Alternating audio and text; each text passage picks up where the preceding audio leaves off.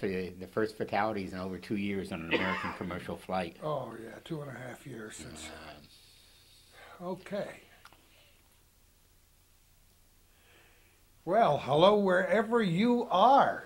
We're in the Key Bank Gallery of the Battle of Plattsburgh Association Museum, former stables, if you will, on Plattsburgh Air Force Base with Dr. Richard Frost. How are you, Richard? Not An bad, official Gordy. handshake. How about yourself? I'm just doing fine. You've been walking. Yeah, I tell people all day long that walking's good for them. I think everybody should take at least a half hour walk every day. And, and here we are, you and me, Exactly. the elder statesman of the. oh, I don't know about elder. I keep redefining that term. Uh, well, we try. Calvin's Calvin's tracking ten years behind, so we got to get him walking fifty minutes a day. We're uh, doing this just one day before Valentine's Day on February thirteenth, two thousand nine. Way more sunshine than I guessed we would have this afternoon. The winds have died down. We had some nice weather for about two minutes, didn't we, earlier in the week? And it seems like, wow, here I, we are. I found out on the way in that we do have a fair amount of ice, however.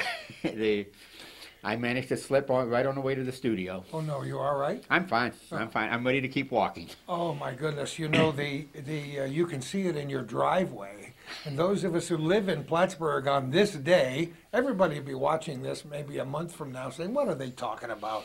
But it snowed quite a bit in the higher elevations last night. That I didn't realize. Yeah, all we I, saw- all I remember is the rain that we had here earlier in the morning. My week. wife and I were heading home from our 40-minute walk this morning, and we saw cars coming from the higher peaks, and they were covered with snow. And my son Dale works for DOT, and I said, How, "Did you work overtime?" Oh yeah, they got a lot of snow up in the mountains. We had to have so many trucks out last night, and well, it's the winter time. Exactly. It doesn't matter what the groundhog says. You know we're not going to escape this early in the season. And uh, who knows from Punxsutawney Phil, every every town wants to have one of those groundhogs or or ground chipmunks or whatever they are nice days. But we know we're going to have, you know, as I said to Calvin the other day, we'll we'll consider ourselves lucky if we only have six more weeks of winter.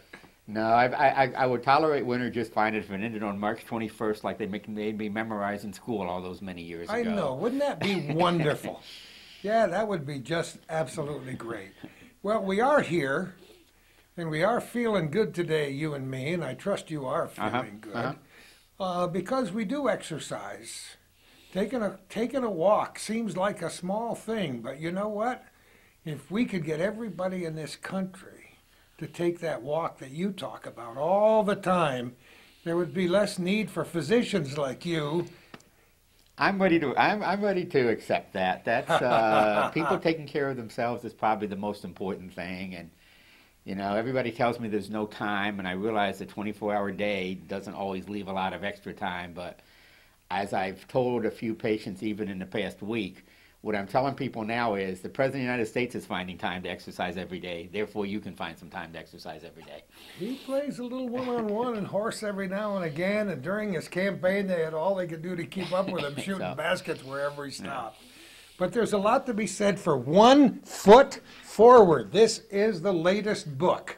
Correct. Taking a walk through northern New York, and you know, a friend of ours is writing an anthology people like me doing little chapters saying what nature and what the out of doors has meant to them in their lifetime. And it's so interesting and so fortuitous, as W.C. Fields used to say, that you and I should be getting together today to talk about walking. When I just wrote 3,000 words for his, for his book about walking in the woods, all the wonderful things that have happened just by finding this North Country delicious to be out in in all seasons. No argument there. This is uh, uh, why one foot forward. How long did it take you to come up with a title? I want to know that. The title actually went through many, many changes. Oh, about, did it really? About once a week. That's Oh, I, I- couldn't stand that. Once a week. and I had to set. I had to settle for a subtitle that told what the material was. But if I just called it a book "Walks in Upstate New York," it doesn't catch anybody's eye. So I used one foot forward, and we'll see how many eyes it catches. Yeah, and if it's the best foot forward, then that's okay too.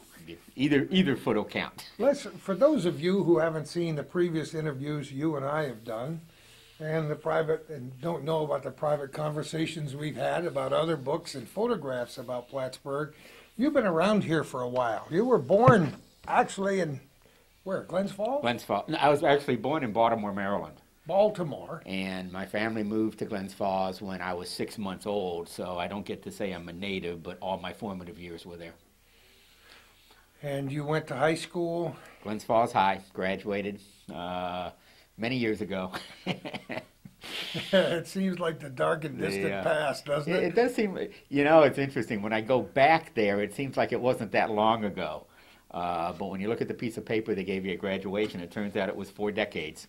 Isn't that amazing? So- Well, mine is much, much longer than that.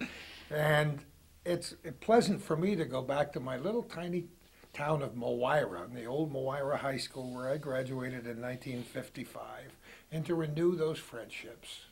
It's it's always interesting to go back to. I do go to my high school reunion oh every five or ten years, and the conversations seem to pick up from just where you left off the last time. Isn't that and amazing? I think it's just we.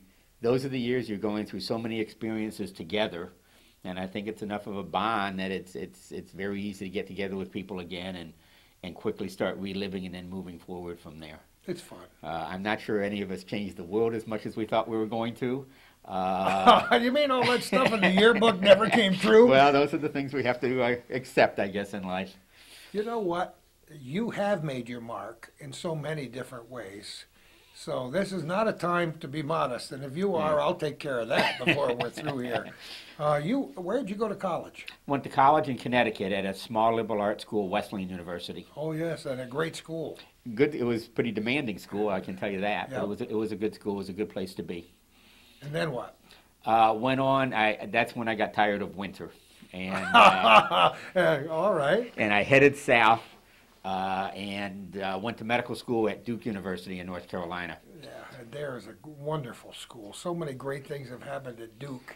Well, and of course, a lot of them revolve around basketball, and I'm probably the misfortune I had is I think that I was there for the only four consecutive years that the team had losing seasons, Come on. and I never every the season. The success of the season depended solely on whether or not they beat their arch rival, the University of North Carolina, at Chapel Hill that year. Oh, And no matter how bad they were, they managed to win one of the two games every year against Carolina. That's great. And the Tar Heels beat them a couple of nights ago. Uh, just, yeah. just so you know, I I- keep I- track of those things. I was happy to see they left that out of the local newspaper. oh well, you know, I kind of watched uh, both of those teams for a long time, and I like college basketball far better than the NBA, if you don't mind.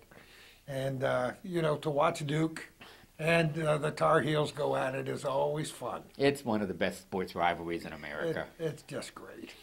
So you went to medical school there, Right. and then Went on to do my internship and residency in internal medicine at the University of Kentucky in Lexington.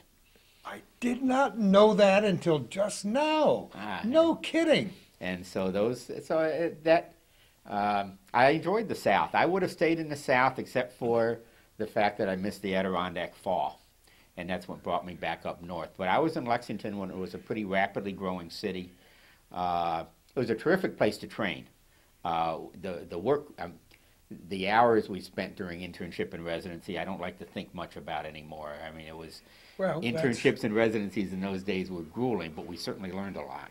They're still grueling, and that whole process is still open to a great deal of conversation slash controversy. Even as we're sitting here, there are people debating that. There will always be people debating that. But here you are. well, it's uh, it, it it's kind of the good thing about being in training is eventually the training ends and you get to go out into the real world. Yeah. And the real world for you started around Lexington, right? Well, I was there for uh, I was there for for three years. Uh, I went into the public health service after that, so I was in Western New York for two years, and then we came here. Lexington, as, as we're recording this in February of 2009, they've had some horrendous weather in Kentucky, and there are still maybe more than 100,000 people without power there and in, in Ohio. As, as we were just down there uh, last week, my, our son, my son is a psychologist, and he has a he has a clinic right there in Burlington, uh, Kentucky, right near the, right across the bridge from Cincinnati. Okay. uh-huh. And I have connections with that state because my father left Rochester as a young man early in the 20th century, decided to seek his fortune with $3.25 in his pocket, began to hitchhike toward Kentucky. And we drove across the bridge he walked across. That great old bridge that Uh-huh. was started in the 1870s. And what a thrill that was. And to think this guy ended up at a little tiny college called Kingswood in Kentucky. And now, you know, my son ha- eh, has a business there in northern Kentucky. So, but we feel badly for these people with weather because they don't know how to. I don't mind they saying they don't know how to plow snow down there. Well, we were coming down I seventy five last week, and I said, "This is the day we're going to die." My wife's sisters have been among those 100,000 plus without power. Have they really? over these last few weeks. And of course, we have lots of advice for them, having lived through the ice storm here, but they don't have a wood stove to cook on and, and some of the other things that made it a little easier for us. We're far more prepared than they are in many ways down there. No question. So, in no any case, then you went to Buffalo. Uh, it was actually in between. Uh, I, I was in Orleans County, which is halfway in between Rochester and Niagara I know it Falls, very well. uh, up near the shore of Lake Champlain. Not Lake Champlain. That lake, that's you're right, But Lake there- Ontario. There is another lake. We, we like to think this is the, as the greatest of the Great Lakes, but we went through that before. That'll be my only typographical error of the day. I love it. So you're there for, for a couple years? Two years, Two years, and then, and then came here. yeah. And that was what year? Uh, 1979. It'll be Wow. 30 years this summer. Uh, in fact, That well, puts it I, into perspective, doesn't it, huh? I, I started practicing in the fall. Actually, uh, I probably shouldn't say this on television. I was supposed to start practicing in the summer, but I told you I was born in Baltimore, and I've been a Baltimore Oriole fan for mu- most of my life. We can't hold that And against you. back then, that year, they were in a pennant race. So I just kept coming up with ways to postpone things for a couple of weeks till I saw how things were going to go. And when I clinched the pennant, I told him I'd be ready to start work exactly the third week of October, right after it? the World Series. Don't you love it? When you're a sports fan, we can't help what we do sometimes, you know? Where it makes you kind of pathetic at one time uh, or another. So you eventually made it back up here. yep. And have you been in the same home since then? Yes. Uh huh. That's a beautiful home, and we love it down Uh. there. And you you uh, were here for what about nine years before you started writing your column? That's a good question. Let me think. I started Seventy nine writing. to eighty eight. Yep, that's right. Because I started writing the column in uh, the spring of '88. I do or pay attention winter. to you, you know. Doc. I'm glad that you've been reading it from day one. Well, I have, and it, and there i- isn't anybody that doesn't know your real name and your pseudonym, right? Well, how did you come up with a pseudonym, and why did you do that? I have to say that I don't know how I came up with that pseudonym exactly, but uh, I thought if I had a pseudonym that it would mean I wouldn't. I was busy, obviously, in, in, in my practice, Sure. and I didn't want the extra phone calls, and I didn't want extra attention. I wanted to do the writing, and I thought that I would be able to somehow keep the pseudonym under wraps, but and remain I- anonymous, and that I- lasted I- about 35 minutes, right? I should have learned from Mark Twain that you can never do that. Oh, no. Although I will tell you that I did pretty well until about five or six years into my now 20 plus year writing career for the Press Republican when they said that their new policy was to put a picture of the columnist in with the That'll column. do it.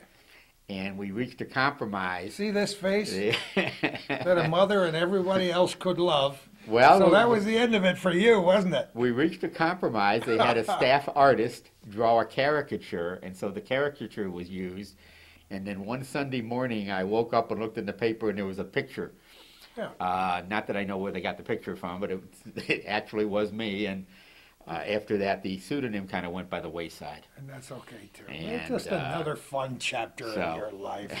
How many? Mention the pseudonym. We gotta. The, Oh, the oh. pseudonym was Richard Landon, and uh, It's, I that's don't a have- classy name, you know. I don't have a good story for how I came up with the name. Um, I was smart enough to keep the first name the same, so if somebody called my name on the street, I'd still turn around. but uh, That's very, so you just, you mean you, you pulled it out of a hat? so to speak, Yeah. so to speak. Uh huh. And just, it's a real classy name. I thought that was really cool. Maybe, maybe someday you can use that, you know? I mean, Stephen King uh, uses other names. A lot of writers just use another name just f- to try it out. I'm sure that one of these days, if I have the same success as Stephen King does, I'll want to try out a pseudonym again. You let me know when that happens, and I'll be I'll be following you so closely our bodies will touch each other. But it's it's you know we've said it before and we'll say it again.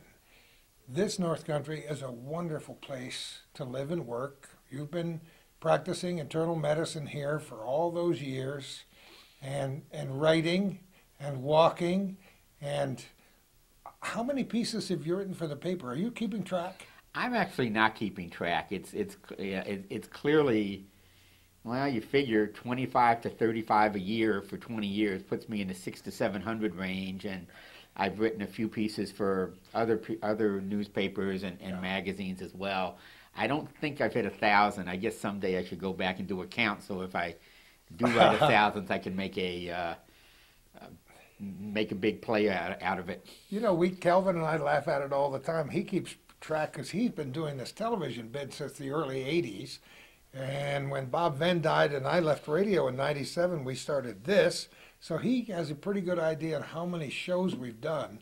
It's a little bit scary when you think that each one of these shows is as long as 90 minutes. But I started writing for the Press Republican about that same time.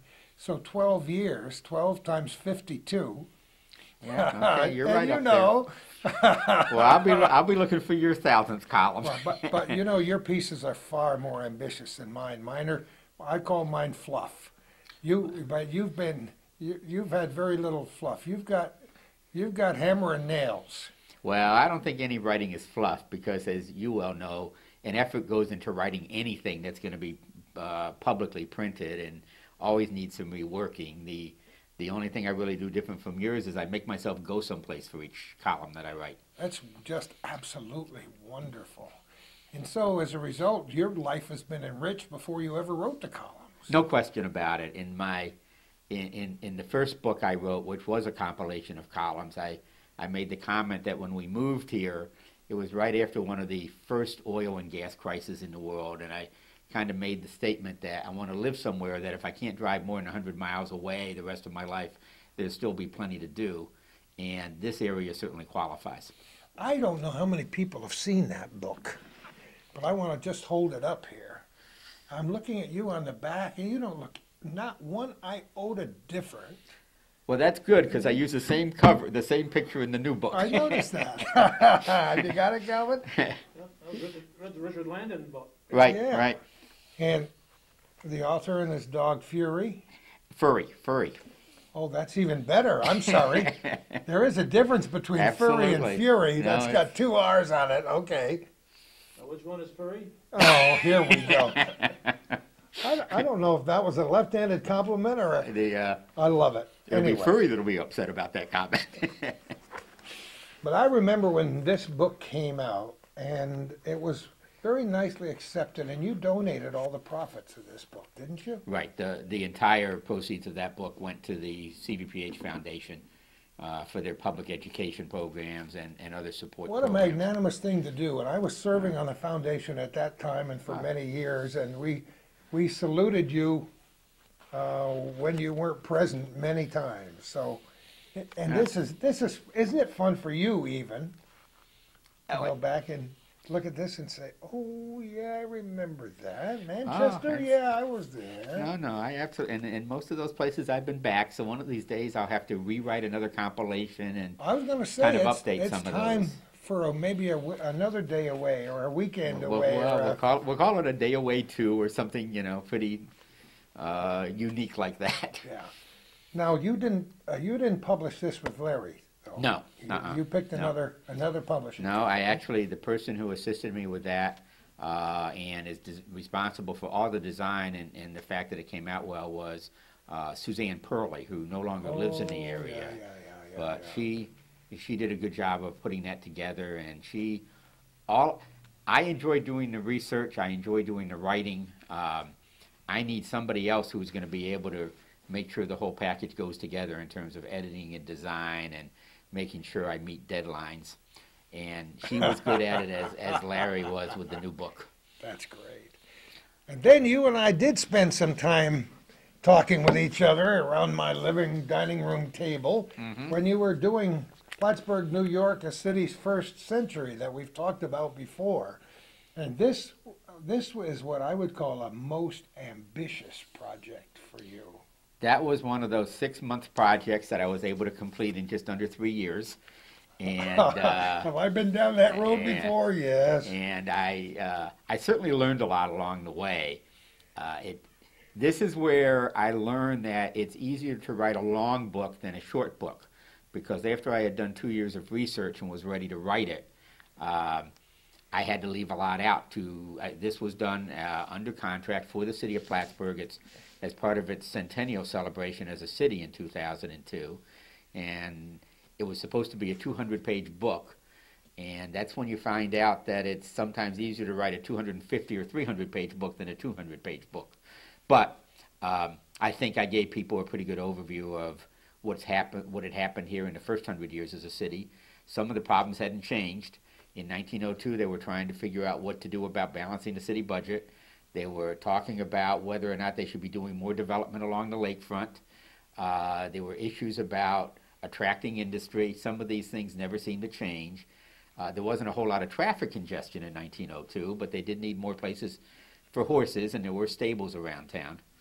Ironically, they the city, of course, was manufacturing cars back then, and that was one of They the certainly sta- were, and we've talked about it so Yeah. many times, not to mention the Plattsburgh Traction Company and the Right. trolleys and, right.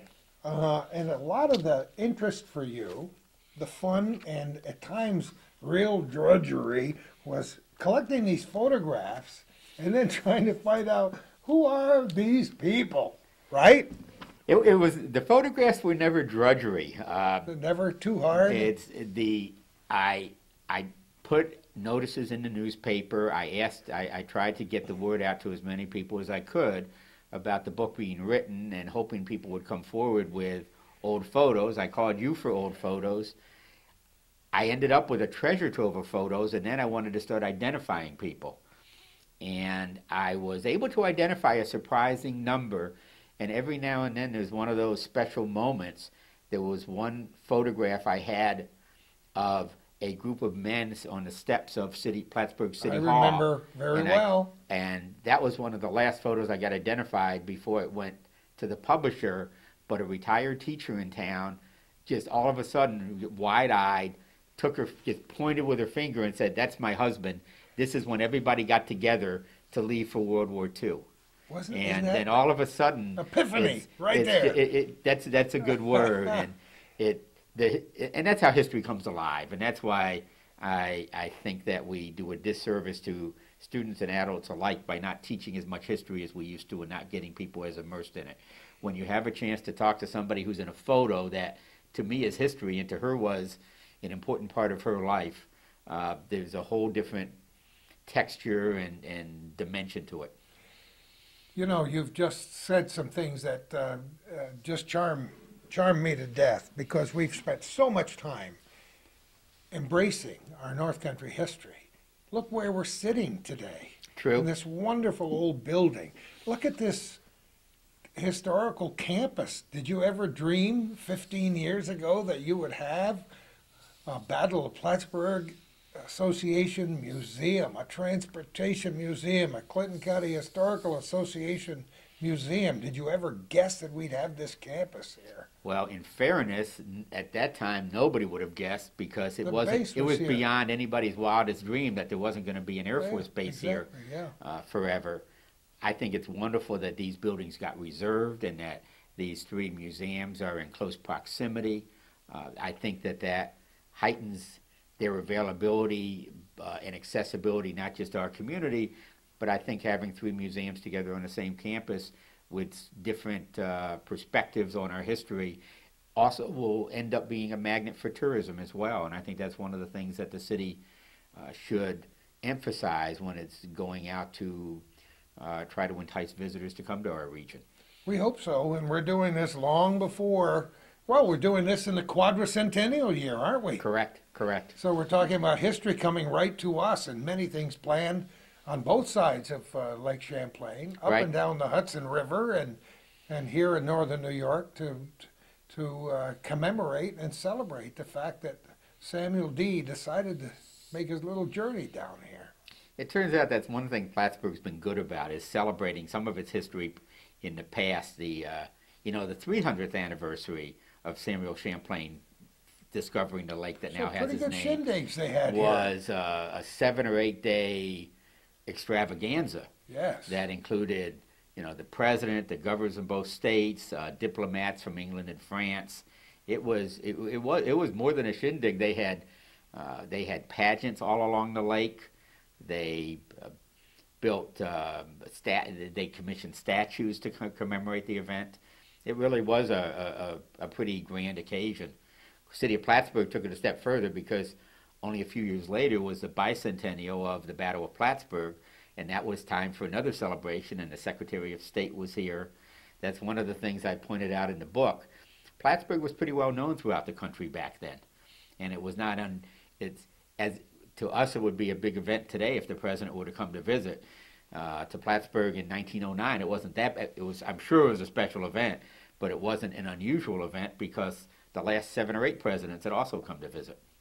But that the, the centennial of the Battle of Plattsburgh was in 1914, Right. And now we'll have the bicentennial Right. coming up just five years from now. Correct. Something Calvin and I have talked about for a long time, and we don't know who's going to push each other around in a wheelchair when it happens, but we're pretty sure we can make it. They'll probably have a tandem wheelchair already. But you're right. We do have so much history here. And when I walk in the woods, and when you walk in the woods, I think a lot about the, the Native Americans who walked in those woods and had camps along our, our rivers and our lakes long before the first, quote, white settlers came over here and, and traipsed down through. And, you know, if you can feel, if you can feel the history, I think you've accomplished something. I think if you can feel it, you've accomplished something, and then if you can convey that excitement to somebody else, Yeah. then, then then you've accomplished something that's equally important. I Yeah. think we all should be both proud of our history and interested in it, and I think it's part of what our future is going to be, whether it be through heritage tourism or creating a sense of place that went, that makes somebody who grows up here want to stay here and start a business here that's going to help the community prosper. It pleases me when I see young people wanting to become history teachers. Mhm. I have a grandson whom I'm encouraging almost daily in his efforts along that line. And I know a young, young, young man whom we actually interviewed um, before he started teaching in the schools, Billy Duffany, whose dad was a police chief here for a long time. And Billy's a history teacher up in the High Peaks. Um, but he, he personified that great almost lust to take in the history of this area. And his ancestors were involved in aviation here. And he did a presentation on it that we recorded, and he blew me away. He sounded like Mr. College Professor in his 20s, and I was so impressed. So, history is very, very important. But isn't it nice just to get out Absolutely, and take a walk? absolutely. And that brings us to this because you you haven't always had bicycles and, and cars and trains and planes. You like to get out and hoof it, don't you? Actually, when I, tra- I, I I do walk for the exercise, but when I travel, I find walking's a good way to get to know uh, a new community. One of the first things I do when I go to a new town is I'll ask at the local history museum or at the Chamber of Commerce for walking tours, and that's sort of my orientation strategy, and that works in places as large as Buffalo, and it works in places as small as Keeseville it's a good way to find out. I'm always interested in, in why a, a village or a city is where it is. Why was it? Why did somebody, when there was uh, no settlement, decide to stop there? What were the natural resources? What was the natural transportation pattern? I learned a concept from a professor at Plattsburgh State, John Moravik, of trying to Oh, trying yes. to study what he calls the sequential occupancy of an area. and what was on this spot 300 years ago, 200 years ago, 100 years ago. You find that every community has a few favorite sons or famous people. You take a walking tour and you find out that the next house on the on on the uh, itinerary is a house that a Secretary of State lived in, or somebody who invented, actually in Canandaigua, New York, and I talk about this in the book. All of a sudden, I find I'm in front of the house where the gentleman lived who came up with the science necessary to put sound onto film so that we could have the movie new- newsreels. And he was a co-founder of the company that I can barely remember called Fox Movietone that uh, and I distributed remember very well. distributed Yes. newsreels to to Sure. uh, movie houses. But that's where the technology started. His lab was uh, a small brick structure back behind his house, and they the town has actually restored that a little bit to give you a sense of what it was like to make those discoveries. And then every town's got a few characters in it too, and uh, some of that comes through when you do a walking tour. Not to mention the archi- uh, the uh, architecture varies from city to city. If you're in Western New York, you may find yourself walking through a town which has unique cobblestone architecture. Yeah. Another town you're going to find is near a uh, sandstone quarry, and you're going to see these wonderful Romanesque sandstone buildings. One of the walks in the book is in Granville. Granville is located amidst slate quarries, and I did a walking tour of uh, slate roofs wi- of almost every imaginable design with Aren't they great? well, number one, uh, I knew there was red slate and gray slate. I didn't know how many other colors there were in between. uh, I I've learned to uh, get a sense of what kind of slate is best for which kinds of uses. You find slate you, slate sidewalks. The cemetery in Granville has slate gravestones. Again, you, you, depending on where you are, you always find there's a unique, uniqueness to it. And it's kind of nice to see that Granville actually has their slate bu- business thriving a little bit again today. no It, kidding. it has started to grow. Now, Oh, I don't know great. what's happened. The last few months have been so difficult for almost every area around the country. I don't know how the slate industry is doing right now, but it's nice to know that that historic enterprise is, is still thriving and creating quite a few jobs in that area. Isn't that great? And the people who have slate roofs like to keep the slate roofs. But now there's a new product called faux slate, which they use down at the uh, Trinity Episcopal Church to cover the church and all the other buildings. It looks so real driving by, you'd never know. And I guess it's, it'll last as long as slate. I'm kind of sorry you told me. I didn't know there was something Uh, called faux slate. I think that's what they called it. At least that's what I called it. We did take a tour there, what, a couple of years ago, maybe? About four or five, yeah. four or five years ago after they did it, and it looks great from a distance.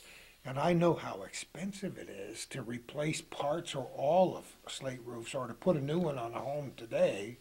And you better be able to write the checks because it's not it's not cheap.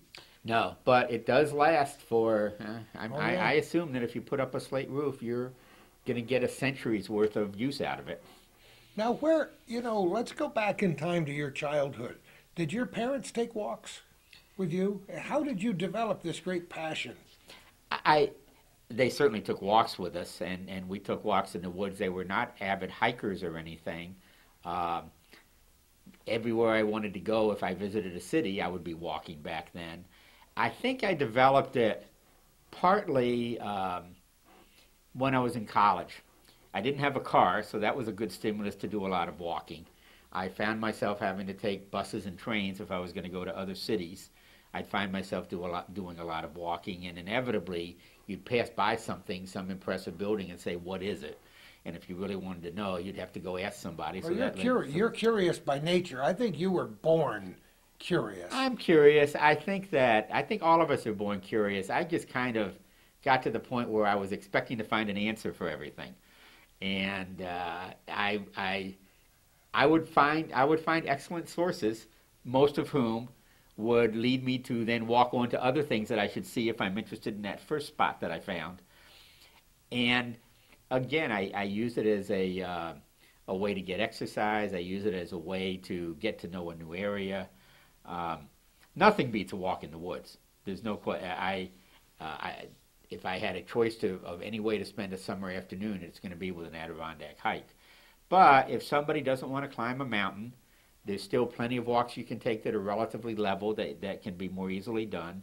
If you don't happen to have the opportunity to be in the mountains, uh, there's no shortage of other opportunities, whether you're in the North Country or elsewhere around the state.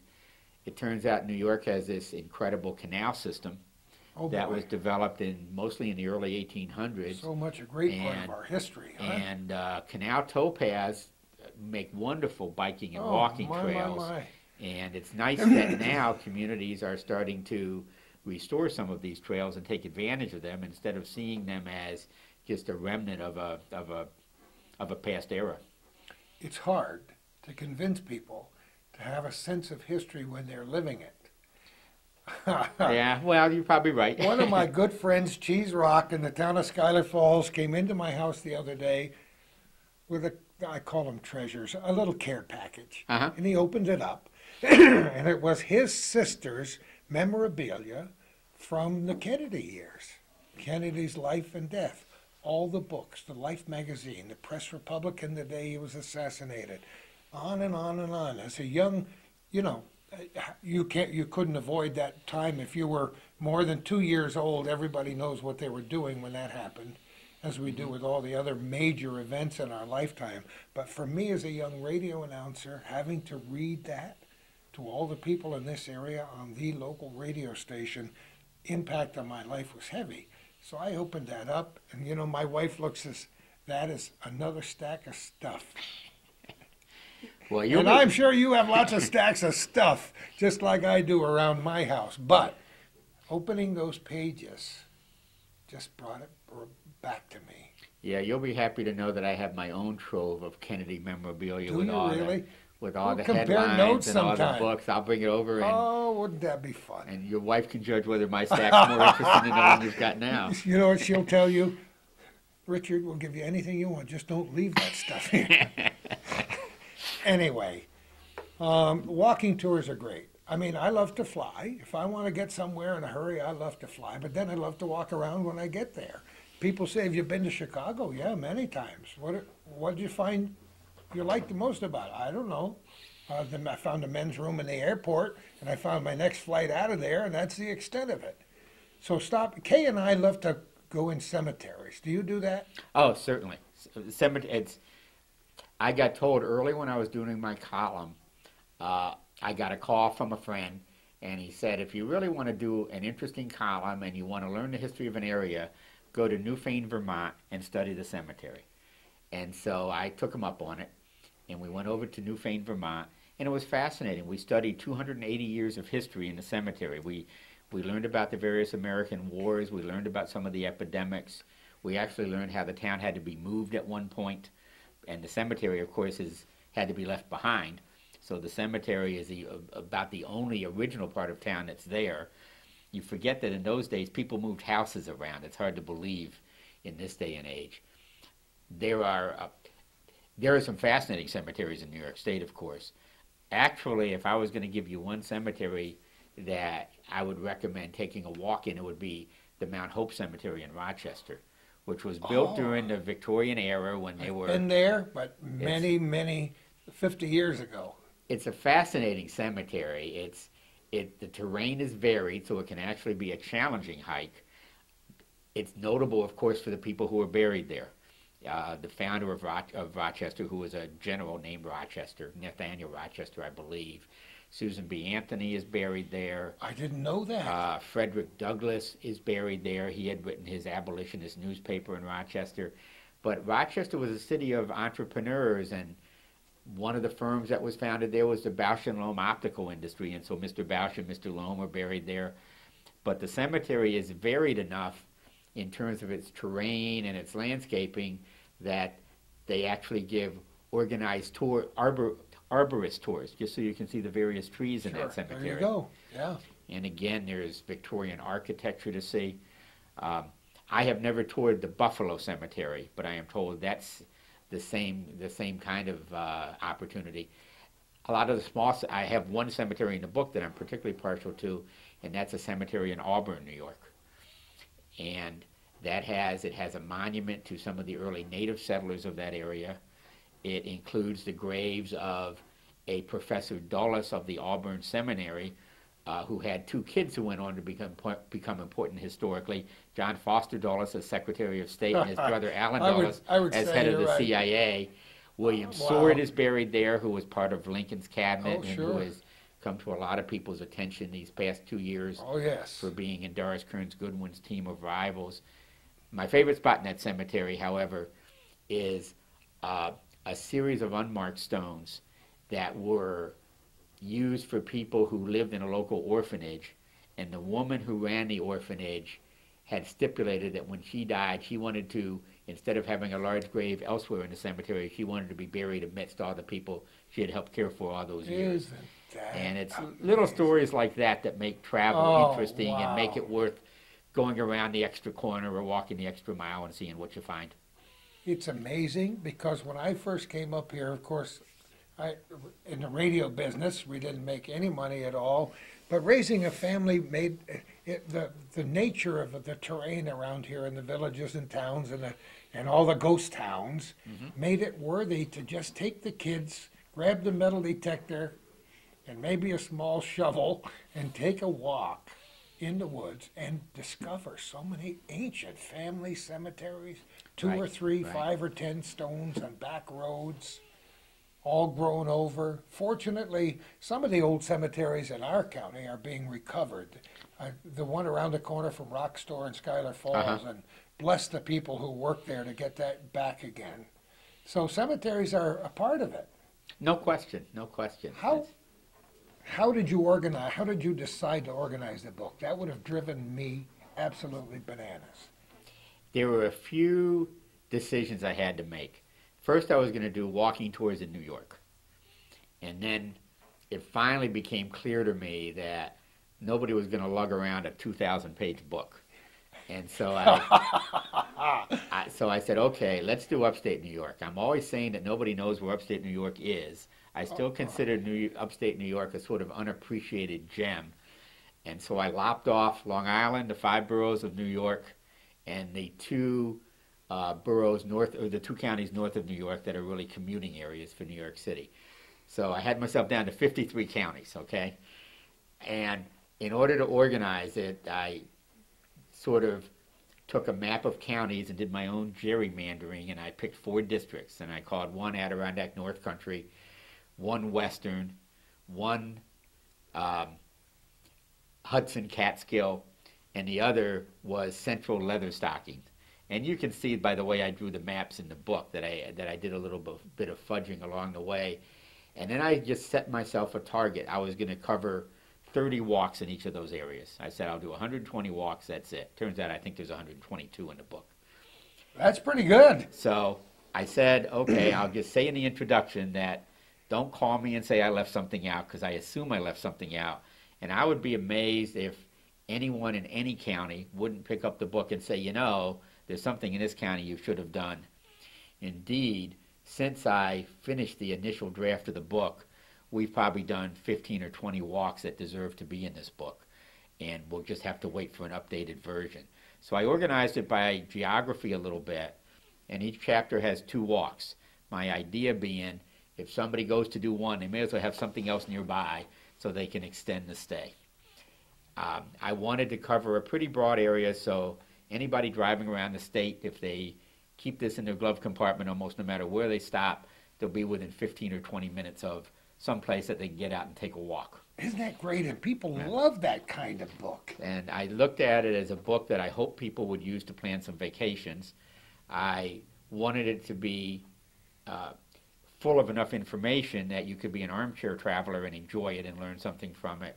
And I also like to think some people will just throw it in a car and use it serendipitously sometime if they're on My anything- favorite word. if it's a business trip or they're going to visit relatives for a holiday or an anniversary or they're on the way to Niagara Falls and they don't want to make the whole drive in one day, they can stop wherever they choose, whether they're camping or staying in a four star hotel, and maybe pick up the book and find something that's in that area that might be worth seeing. Isn't that great? So that's what you did. Uh huh. And and you have enough information almost for uh, chapter two? Oh, there's certainly. Uh, I easily uh, have. I easily have 20 more walks that could have been in there. I probably have more if I really went through my notes, but I've had 15 or 20 since I finished up the initial research for this book. Um, I left things out in Clinton County. You can't put everything in. Of course. One of my favorite walks in this county is Silver Lake Mountain, and I Oh, gosh. and I had to make a choice because you can't sell a book all around the state if all the walks are in Clinton County, and so I so I had to stop. So when if if if this book is successful and I decide to do a second one, whether it's completely different or whether it's just a revised and expanded edition, you can look for Silver Lake Mountain to be in it. think of think of how many miles you've walked just to gather the material for this book. I've kind of chosen not to think about how many miles I've walked, but I will tell you, it was usually uh, anywhere from one to five miles at a time. There are no marathon walks in the book. I point out areas that you can extend your walk by 10 to 100 miles, really, but probably half the walks in the book are no more than a mile, mile and a half. And I remind people this is a good way to, to walk a mile and a half, is to have something to see on the way. The time goes fast. Um, and I want people to do it. I'm not writing. I'm I'm not a mountaineer person myself. I like to climb mountains, but not. I'm not a technical climber. I want to write things that are going to be accessible that um, I don't have to have people get special training for. Instead, my attitude is they're going to have to find an excuse not to do some of these. Isn't it? And some of those, some of the walks would be available for handicapped uh, folks. Absolutely, absolutely. That's the good part. Most of the village walks certainly are. Um, many, uh, I would say probably most of the walks that are along canals. And then there's other interesting places that you forget that you can do a lot of walking.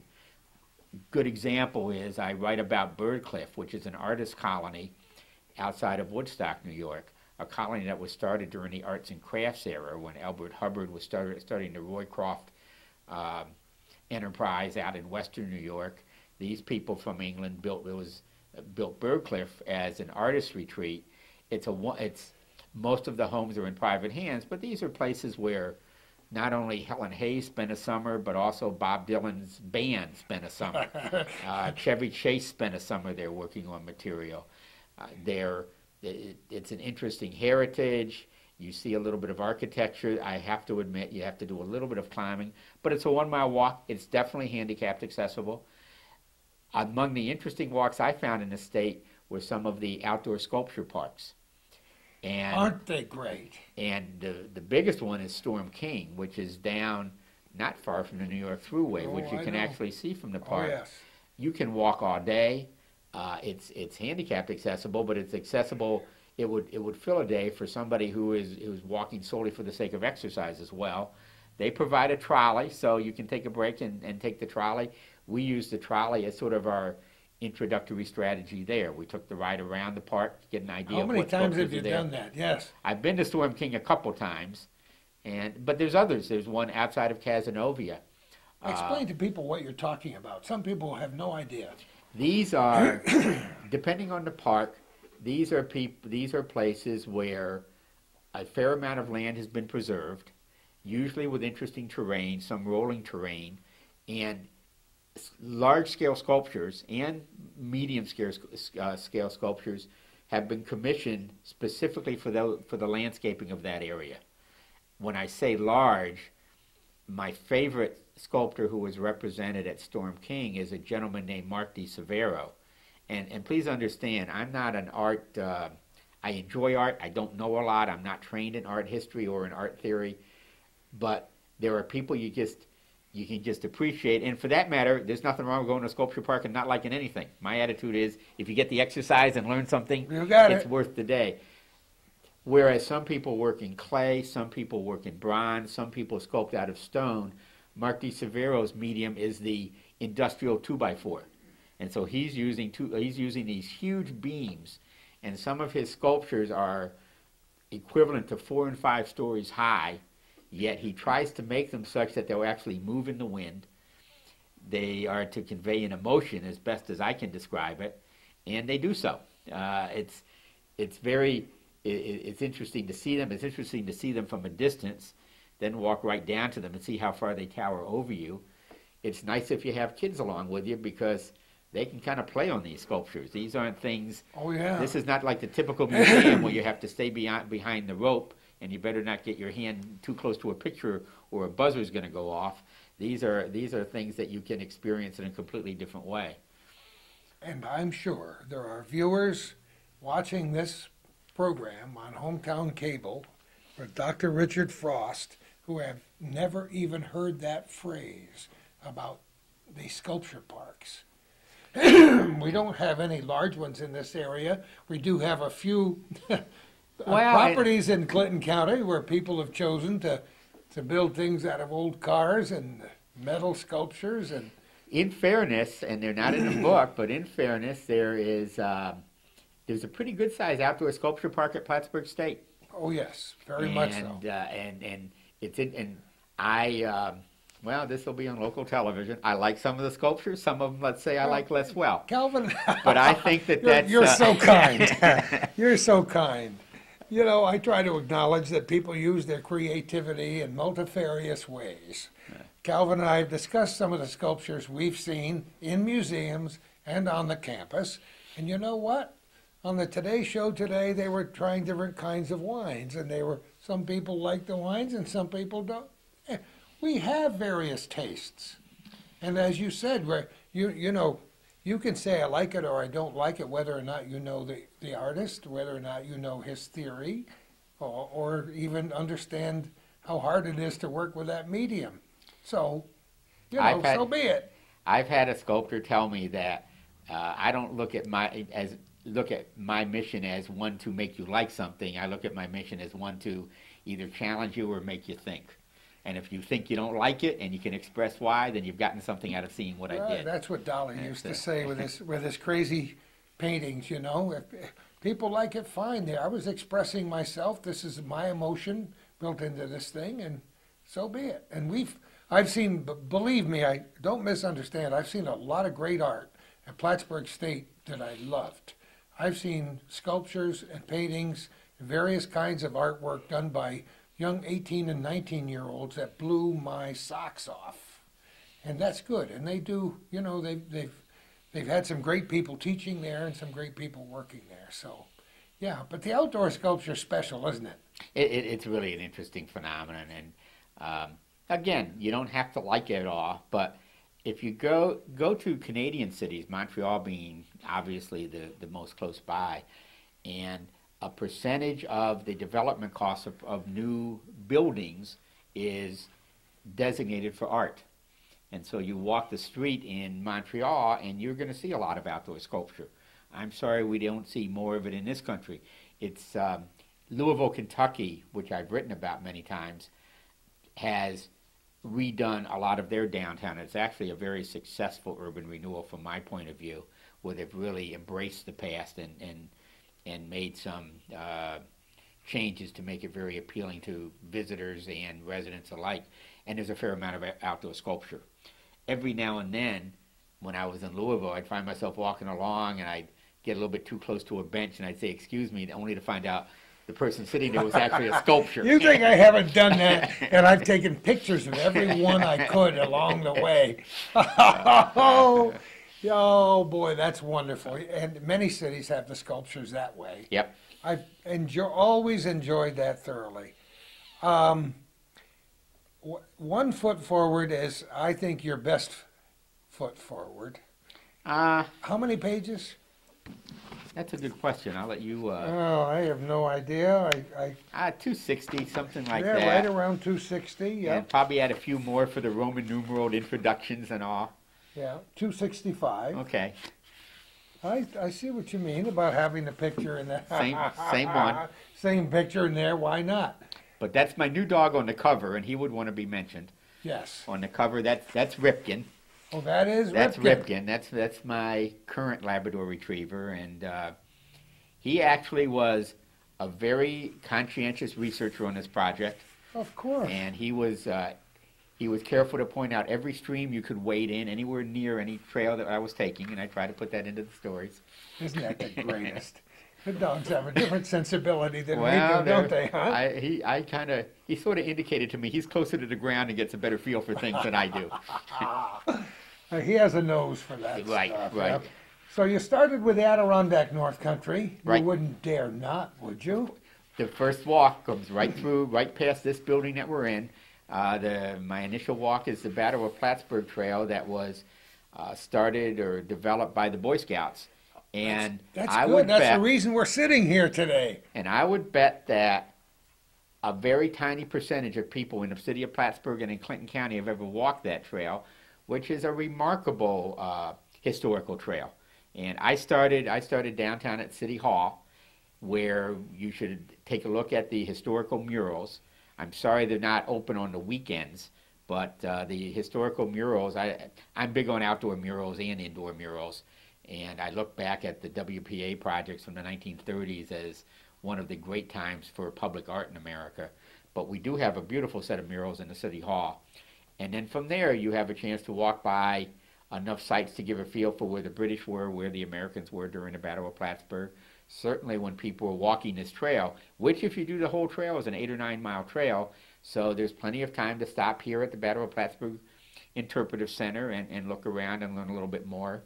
Um, you can include things like the Kent Delord House, uh, places like Halsey's Corners. Uh, There are certainly enough historical um, uh, designated spots in this city to, to make a, a very nice walking tour. So that you start right here. You always, no matter where you are, you ought to, be, able to start right at home. I think if you're a traveler, and so if nobody wants to do anything else in this book, they ought to at least do this one local trail that I think's been unappreciated, albeit very well outlined and, and mapped by the by the Boy Scouts here. That's wonderful. And you know, um, talk about being underappreciated. That's true of most museums in the world. Probably Even right. the major museums, and I know people who live in the shadow of some of the world's best museums who have never darkened the door. And it grieves me to talk to kids and their parents and grandparents and ask them when the last time was that they went to the Kent Delord house and they give you that blank stare. Uh huh. And that bothers me a lot because the history is not only outside but inside. Oh, true. Of course, of course. Plus, I mean, certainly you need something to do on a day that it's sleeting outside, or when the rain won't stop. And uh, Now you see, I, that's what I wrote about my mother. She so much loved nature and whatever nature could throw at you. This is many, many years ago. That when the weather was sleeting outside, that's the time she'd say, "Put on your coat, get your galoshes. We're going for a walk." And that's when we would do those walks as a kid. So a day like today would be gravy train.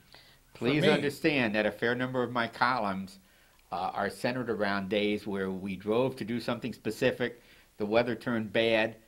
I had to get a column done, so we would look around and we would find something else. And more often than not, we were pleasantly surprised. I, Serendipity. There's that word again. I tell people when they say there's nothing to do, that's not a description, that's a state of mind. And I love it. I'm so- going to remember that and quote you on Okay. that. That's not. That's a state of mind. And isn't how many times with our kids and I've raised a big family where the kids say there's nothing to do. I'm bored. There's nothing to do. And I would say, get in the car. We're going to Lake Alice. Right? And, Right. You know, some of the some of the most intriguing times of my life have been walking in the woods with Calvin and those cameras. And you know, uh, you talk about the Flat Rock area up there, and you talk about the history with the blueberries and the huckleberries and the and the Million Dollar Dam. I heard about that for so long from Calvin, and I said I want to go to see the Million Dollar Dam. And when I got there and saw this behemoth structure in the middle of nowhere, I said everybody in the world should at least take a look at this once. You know, and there's and that's true of everything you write about in this book. So after after the Adirondack region, you went to the Hudson Catskill region. No shortage of Yes, things there. we'll allow you to call that northern New York. Uh, well, it's it's it's up. Hudson Catskill is clearly upstate New York. You know, I wrote a, I wrote a whole column about upstate and northern New York, and those those are very strange designations, and it, they're all in the eye of the beholder. I have learned that. Well, let's face it. If you go to anybody outside of New York State and say from, you're from New York, it doesn't matter where you live. They assume you're surrounded by skyscrapers. oh, of course. If you go to New York City and you say you're from upstate New York, they think that that means somewhere between Manhattan and Peekskill. And so I've started to say what I That's true. so when I'm when I'm at a distant place outside of the uh, Northeast, and somebody says, "Where do you live?" I say, "Far northern New York, just south of Montreal," and that phrase seems to get attention. You know, I've, uh, I've done that and try to explain that we're on Lake Champlain. And I correspond with lots of people via email every day who, and like you do, people who enjoy your, what you do. And this lady sent me an email early this morning saying, isn't it horrible that there was a plane crash near, near Buffalo? And she knows that I live on Lake Champlain across from Vermont, south of Montreal. She says, and that's right near you, isn't it? Yep, within a day and a half drive. I said, you know, I might get there by four o'clock tomorrow morning if I start right now, but isn't that interesting? And uh, people who don't live in New York State, when you say you're from upstate, Again, I never say upstate New York without further defining it. absolutely, absolutely. Yeah, Buffalo, they should be saying Western New York. Yeah, Western New York. You've done a magnificent job here, including all this information, and it's, in terms of the total number of walks there would be in New York State, this, this just whets the appetite. Absolutely, absolutely. One of the things that's interesting in New York State right now is how much development there is in various communities for recreational trails. Um, Don't you love it? the uh, the rail trail movement, we don't see as much of it because we're not quite as crisscrossed by by railroad tracks as many other areas in the state have been. Well, we were. so many so many railroad right of ways have been converted to trails. Uh, one of the ones I write about in there is one down near Newport's, which is about a 10 or 11 mile rail trail. Um, there is a lot of development in the Buffalo area and the Rochester area that way. I, com- I was communicating with a friend uh, two days ago, and they have just formally signed off on the completion of a five mile walking trail along the Chenango River Oh, down boy. near Norwich Oh, in boy. central New York. Oh, boy. And as you know, they're developing, there's, uh, there's a group that's working on a Saranac River Trail in this area, which I think would just, just be wonderful. Oh, boy. The, in Peru, are trails being developed along the Little Ausable River. And as far as I'm concerned, you can't have too many of these. And uh, I think it's the kind of attribute that makes a community attractive to businesses moving in, to people wanting to live there. I think our trail right out, you know, right outside the door here, which is in the book is part of the Boy Scout Trail, the trail along the uh, lake shore along on the former Air Force Base, is a wonderful attribute for the city. And I hope that at some point that will link up with the trail on the Saranac River. Wouldn't that be wonderful? So. And, you know, I talked an, an awful lot about the, the, the railroad tracks before, and Calvin and I have done so many shows on the railroads and what they meant to the development in this area in the past. And when the old railroad beds were around, I used to jog and walk on the railroad beds all over this region, and, and I tried to help promote them that way for future generations, and now most of them are gone. Once they're gone, they're gone. And And it's just too bad. Because you know, when they when the railroads first move out and they pull out the tracks, wow, they're wonderful. You just walk and walk and walk forever and ever and ever. no, absolutely, And as kids, what did we do? We walked along the tracks anyway when we were kids. I'm not sure that was a good idea. It wasn't it wasn't a very good idea, but you know, we, we did what you'd walk along the tracks and you know, you'd have an occasional freight train come by and we were smart enough to get out of the way. Uh huh. But rail, railroad beds make wonderful tracks. No, obviously, you know they're well drained Oh, and uh, they're they're they're set up well, and and there are a lot of them in, in use around the state. You uh, you go into again the area around Buffalo, you can see them in Orange County down along the Hudson. You see old railroad right of ways that are being used, um, and then again the canals. You can go. You go along the Erie Canalway from Buffalo to Troy, and well over half of that 300 plus miles is off road along towpaths, which is wonderful for walking and bicycling. Isn't it the best? Ah, The best. We do have a great state, and you, uh, your your section on the central leather stocking region, which includes What? How would you define that region? Oh, I would define it as uh, central part of the state going down to what we call the southern tier, meaning the Binghamton area, includes the Cooperstown area, sort of, so it sort of comes up towards uh, almost to Schenectady. Uh, I think in the book, I think I actually gerrymandered it enough that it came up into Oswego County and included and, I love it. and included a state not? park along Lake Ontario and Give you Oswego all County. the poetic license you need. Uh, but it include that that area includes includes Syracuse and includes Rome and, and Utica and Cooperstown, of course. And those are great, wonderful, wonderful areas, which I've been through so much in the past. My dad lived in the Utica Rome area for a long time. I love it down there. Down through Speculator. Oh, Mhm. what beautiful places to walk in the woods. I think the important thing is, and we put a map up behind here. I think if you can throw a dart and just have it land somewhere in what I've defined as upstate New York, you'll find yourself uh, reliably close to a place where it's worth taking a long walk. You know, that's that's a lot of good food, Uh-huh. a lot of good food for thought. Have you written about Letchworth in here? It Letchworth is in there. I have a It actually. I have a full chapter on Letchworth, Oh, one of, is that in the Western trails. Niagara? That's in the Western Niagara, uh-huh. And and Letchworth again, it's a mix of forested trails and then the Gorge Trail, which takes you along the the, the, the several waterfalls of the Genesee. Spectacular. And of course, and as I told you, in every single chapter, I try to put in one other walk nearby.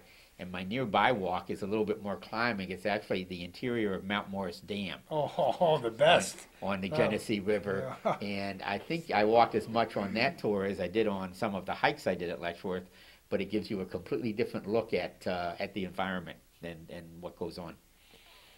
And if you want to forge your own trails, there are a lot of good places to walk that don't have bona fide trails, where you can just use that serendipity that you talked about and just get out of the car and take off. Yeah, I guess you have to be careful that you're not trespassing. I Uh, guess you do. but certainly, again, everybody knows how New York State has done uh, has been such a pioneer in preserving land in the Adirondack and Catskill parks, and most of that land is open for for walking. You know, you just go to a, almost any village and start walking around, and you'll find some historical markers. And if you linger long enough by a historical marker, somebody will pass by and and ask you what you're looking at, and you'll ask them a question. You'll you'll have something else pointed out to you that you have to see before you leave. That happened to us in Salem, New York. Salem's a small town in Washington County, and we found out that John J. Audubon's grand grandchildren lived there, and their house is, is still standing. Uh, there were a few other local notables. There was the remains of a mill that was important. But eventually, we got told to go look at the cemetery, and it's a Revolutionary War era cemetery that has a couple of hundred Revolutionary War soldiers buried in it. And you start reading gravestones there.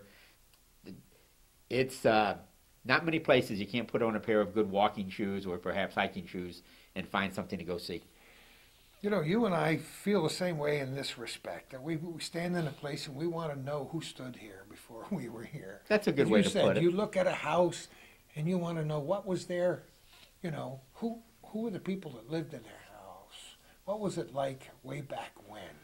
And isn't it nice to refresh some of these memories by getting people to go there and, and to talk about your feelings when you were there and to maybe instill that same passion in somebody else who might want to just take a hike. There, there's an infinite number of stories out there. Yeah. Uh, just not the, the cemeteries, but the, the beaten path and the, and the path less traveled. And, you know, it reminds me to paraphrase that, that great old saw that says, uh, you know, you only pass this way but once. So stop and smell the roses. I always say maybe you want to pick a rose along the way, but linger, you know. No, no question. You'd like to remember where you've been, and you need something unique to hang on to to remind you of where you've been. Um, you and I have probably both driven down the New York State Thruway many times in our lives, and we probably don't remember much about any specific trip.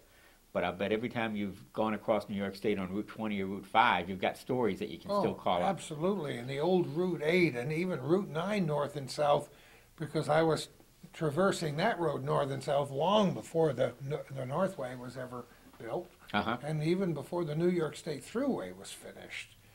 So get off the road and take a walk. I, okay, how did you get hooked up with Larry Gooley? That's what we need to know. Uh, I actually had read, I'd read some of his books that he'd written, and I was trying to decide where I was going on this book. Uh, I had contacted some publishers, and to be quite blunt, a lot of publishers take their time in getting back to you and letting you know what they want to do with the book. So I, I, I finally met Larry, and then I asked him if he'd be interested in, in doing a project together. And to his credit, first he wanted to see the manuscript before he gave me an answer, which I think is entirely appropriate. and uh, so we ended up deciding, okay, well, Does we'll this look like an honest man? Take a look here. it's uh, uh, yeah, it, you, you can be an honest person and not be a great writer. So anyway, And, and so we elected to go forward. And Larry took charge of design, uh, is a very um, conscientious and meticulous editor. He he did a pretty good job of keeping me to deadlines. He found that it's impossible to keep me exactly to deadlines. And and the book came about and we we went through we went through several drafts. We did a lot of re-editing and things took a little bit more time than we wanted, but that's always the case when you're bringing a book out. And there's the product that you see. I think it was a good collaboration. I think he would say it was a good collaboration. He and his Yeah. wife were an amazing team. She- you know, we have a lot of resources, and the human resources we have in this area are sometimes unsung. And Larry and his wife are, you know, I think they're just a great team because she has a certain genius. Well, I tell you, she used, uh, one important bit of genius she brought to this book was the maps, Oh yeah. because maps are surprisingly difficult to craft. And nobody had the state broken up in exactly the units that I had outlined. I think we've made that perfectly clear. So it was nice to have somebody who had the the creativity and the skill to to bring that to pass, and she certainly had suggestions, and it worked out well. And our hope is that uh, uh, lots of people will see the book, and most importantly, I just hope lots of people use the book because I think people are going to get something out of it, and I think it's a great tool. It'll be a wonderful tool. and I'm hoping a lot of people who who buy the book and read it will contact me and tell me trails that should be in next time when I do the book. Oh yeah, you you've only got twenty or so to start with. You're gonna Right, right. you're gonna to- have to have a I'll few need another. more. I'll need another hundred. Now you always take your camera with you. yes. You you go back maybe not to the Kodak Brownie days, but at least to 35 millimeters. I know what film is. Lots and lots of film, and now you're into the digital age. I am into the digital age. I uh, I'm I'm trying to get better at it. I have been more comfortable with my writing than I have been with my photography. I will say that one advantage of the digital age is when I'm traveling and I have my camera with me, at least when I leave, I know whether or not I have a few pictures at work. And because of the digital age, nobody knows how many I had to take before I got a good one. Well, who cares? Uh, you know, when you got that that uh, four gigabyte memory card there.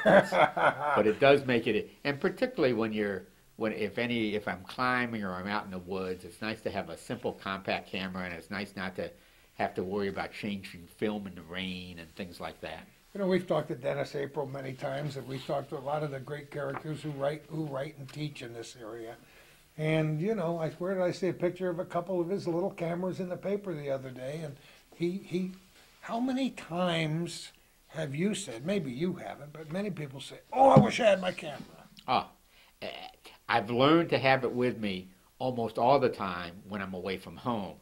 What I haven't learned is it's just as important to have it with you all the time when you are at home. When the deer is in your front Oh, yard, you something mean? happens. You you go to work, and then on the way home from work, you see something you've never seen before, and it, it would be nice to have it with me all the time.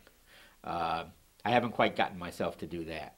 I'll have to tell you though, I miss film cameras. I enjoyed. I liked. I liked the what I guess now you have to call the old-fashioned. Uh, Yeah, single you lens- gotta call it the sing- old single lens reflex cameras Yeah. with film. and I used to still carry my film camera around, and then about two years ago was the first time I had it with me, and I couldn't find any place that had film for sale. That's really the limit, and now I just have just accepted. It's like trying to find that, cassette tapes. right. Uh, so, or even worse, eight tracks. Oh, well. now you're really going Yeah. back into the dark ages. But it is, it is, uh, the digital age is here. We have digital m- movie cameras, you know. We've, Calvin is very interested in, in old uh, Western movies and cowboy movies, old movies in general. And, you know, we wa- we watched a piece on public television the other night about the North Country and all the, the movies that were made here. Right, Way back right. when, the early part of the twentieth century. And the tragedy is, most of them are gone. right, right. I mean, by the very nature of what the film was made out of, they didn't survive. And once again, they didn't realize that they were making history, of course. Mhm. So making copies was almost never an option. So here we are. Yep. So you're, that's why it's nice to have it in this book. I yeah. Because books, I, I, I mean, I'm sure you feel the same way I do. Books, if I, if I couldn't have books, if I couldn't walk everywhere I go, I've got almost always, I've got a book in my hand. And uh, if I didn't have that book, there would be a terrible hole in my life.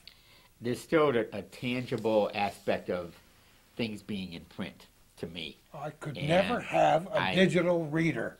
and I need I if I'm if I'm reading a newspaper, I don't want to scroll. Or I do read newspapers online, but when I'm relaxing in the, the evening. I and I'm reading a magazine or newspaper, I want it to fold. I want it to rustle.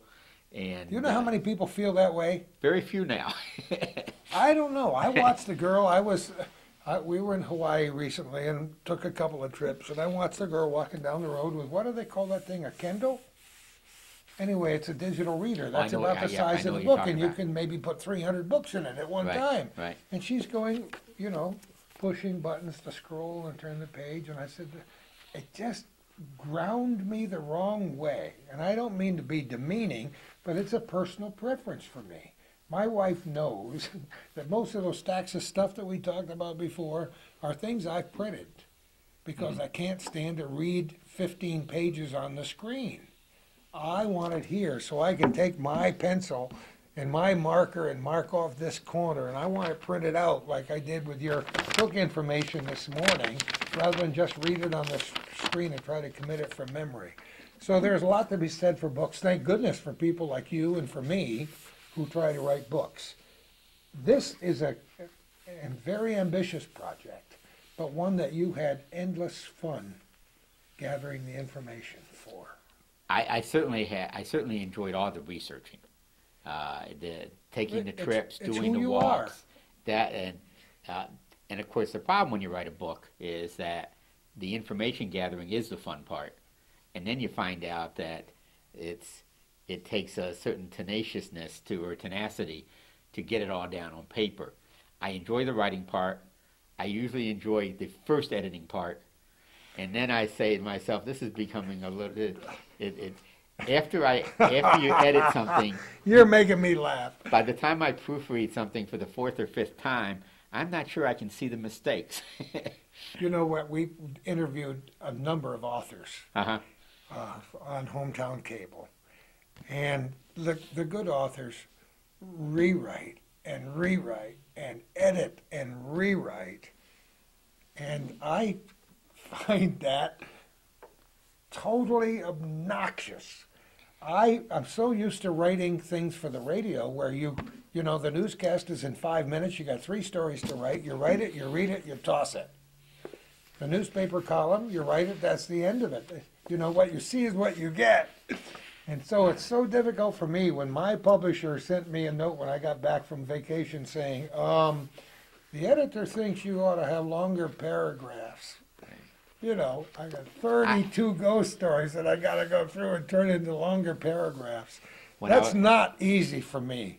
When I first got interested in writing in college, I got told if you don't like the rewriting, don't plan to take writing too seriously. And uh, I, what you see in the newspaper when I'm in there is usually it, it's it's reliably the third draft. I write it, it gets edited, that it gets edited by my wife, who has always been Well, my chief editor. Aren't they our stalwarts, And, huh? uh, What would we ever do then- with it? And then it goes through another editing by me. When it comes out in book form, it goes through many more. Uh, um, I forget the word, but it goes through many more versions, and and after a while, it becomes hard. Um, it become it becomes hard to proofread again because I. I think I could look right past the same misspelled Oh, I, word. I could What all the, about ti- time all the time, five? and I'm the worst speller in the And that's- world. And that's the value of, of collaborating with an editor. Yeah. And having that kind of uh, input. You know, I find it even more interesting when we interview people who write children's books, picture books with two lines on a page, right, and a picture, and they go through 15 rewrites because they want to make sure those three words are the perfect words for that picture. It's what goes on behind the scenes. But there's, uh, there's, There's something about a book and the permanence uh, of it that makes you very determined that it can be the best you possible do before that you can possibly do before it comes out, because you feel that you hope it's going to be read, and you assume that it's also going to be judged to a certain degree, and you want people to think you you have the the talent and the perseverance to to get it right. Uh, at the same token, it never comes out perfect. One, it's I I don't like to read my own writing out loud. I don't mind talking about it. I don't like to read I it out always had to read my own writing out loud on the radio. because Yeah, while I'm while I'm reading a passage that I've written, Uh, I almost always find a way I could have expressed Oh, it better. Yeah, I know exactly So- what you mean. and like, and I'm also certain that although I worked very hard to make sure there were no errors, somebody will bring some to my attention. Um even on this on my Plattsburgh book, I've been fortunate, but uh, that only two errors have been brought to my attention. but I'm, Only two. but That's I'm sure there's some others in there, and it's it's sobering. It's uh, you don't want to you don't want to make mistakes for fear that others might quote you, and that mistake will be perpetuated. How many authors do you read where you find where I find five mistakes in the book? Oh, far too many, Yeah. far too many, and part and that's Not a to mention pages that aren't that aren't cut. well, that that's true too. That's uh, But I mean, yeah, lots of uh, spelling errors, uh, gram- grammatical, gr- egregious gra- grammatical errors. But that's all right. yeah. Well, some of that's editing, and of course some of it's fact checking, and uh, And that's Ah. very, very difficult. Richard Frost, we love what you do. We want to talk about how these books are available. Um, Calvin printed this out. To purchase one Larry for, Gooley did. huh? Larry Gooley Oh, did. Larry printed it out for you? I printed a couple of things online here. But his, I love his name, and of course, we've done a number of interviews. Every time he does something we think is noteworthy. But Bloated Toe, if that isn't right off the wall, nothing is. And I, somebody says, who's publishes the book? I said, Bloated Toe Enterprises. And they never forget that. Once you There's- say, there's something about having a name that sticks in your memory that helps. Uh, and the bloated toe and his, his reasoning behind it does too. So go online, www.bloatedtoe.com. Click the shop button to go to the North Country store. When he says Bloated Toe Enterprises, he's not kidding. He'll sell everything. I don't know if he's got cloverine salve, but he seems to have just about everything else on there. Last time we went to interview him, I wanted to sit in his living room, but he had books and various other things piled to the ceiling. So they're doing very well. Hit the shop button to go to the North Country store, then enter A1A1 in the product search box. I don't know what the reason for that is. Do you? I, I can't tell you that. I do know that when you get to the website and you get to the North Country store, it's easy. It's very easy from there To noodle around. to, to find it. But A1A1 in the product search box. And if you have any questions or any problems, you can email service at bloatedtoe.com. That's easy. Service at bloatedtoe.com. You can call in this area 518 563 9469. That's 518 563 9469. Or now that our program is on the internet and perhaps is being seen in Sumatra as we speak, you can call 1 866 455 1070. 1 866 455 1070. Um, And I guess I should say that it, the book is also available in, in a lot of local outlets. It is available across from us here in the uh, history shop at the Battle of Plattsburgh Association. better be. And it's available at the Cornerstone Bookshop, Borders, uh, Peru Pharmacy, uh, Cornerstone Pharmacy, the CVPH Hospital Gift Shop, and probably about 10 other or 15 other places that I missed. Available generally for $20, I see here. Correct. Um, 30 illustrations. That includes your photographs, right? Or does it? It, It- says it- 30 illustrations and four maps. The Uh, four maps I can vouch for. The 30 illustrations, it, I don't know the number. it wasn't your turn to And watch, don't, right? don't ask me how many words are in the book either. So anyway, um, you know, people say, well, what's the genre? Well, it's history. It's a guidebook, right? yeah, I would call it history and travel, I guess. Uh, and and probably just for people who are interested in New York State heritage as well. Yeah, but I like the idea of guidebook because that means, like Audubon's books and the other birds of, of uh, this continent, take, you take the book for you and say, okay, where we are we? We're in Rome, or we're in, in Letchworth, or we're in, you know, Owl's Head. I bet you don't have Owl's Head. I don't have Allison. Ah, Well, let me put that on my list for the next 100. But you've done a wonderful job. I, I admire that. We haven't talked a lot about your your chosen profession, internal medicine, but it's that's been rewarding for you. Yes, as it- well. it- it's uh, yeah, it, it's it's it's why I do it. I mean, it's it's something that uh, has been satisfying. Um, it's become a little bit more frustrating because the amount of paperwork has multiplied, and every doctor can delineate some frustrations. At the same token, we're in a different world than we were even 10 years ago, and almost everybody I talk to in every field can delineate some frustrations. Um, I guess I look at myself as fortunate. I still enjoy doing what I do. Uh, as a as as an internist, I see a wide variety of problems in a wide variety of people. Uh, I like the challenges. Um, you wish you could cure everything, and one of the tough things to deal with is you can't cure everything. Um, I would like I, I like to think that part of what I do is motivate patients to take better care of themselves, so as to better manage some chronic diseases or even better prevent some of the diseases from starting in the first place. Uh, that's why I tell them all to walk a half an hour a day. That's good for many organ systems in the body. Not to mention, it's a great stress reduction mechanism. Um, but I that, love that yeah, I, I, I, I You love it, and you do it for a while. Yep. I, I, I have no plans to stop doing it, but uh, um, it's a matter of if the 24 hour day were a little bit longer, it would be easier for me to do everything I want to do. How long have you had your beard? The beard was a suggestion uh, by my wife, from my wife, on the day after we got married. Come on. It, literally. Which makes me think, makes you wonder what she was thinking before we got married. Oh, she wants me to hide my face. But, uh, uh, and that's when I started, and I've had it ever since. Isn't that wonderful? And uh, there ever was a trademark. I and I I save five to ten minutes every morning, every day of my life. It's wonderful. and if I could grow as handsome a beard, I'd have one as well. Well, thank you. It's one foot forward, walks in upstate New York. Richard B. Frost.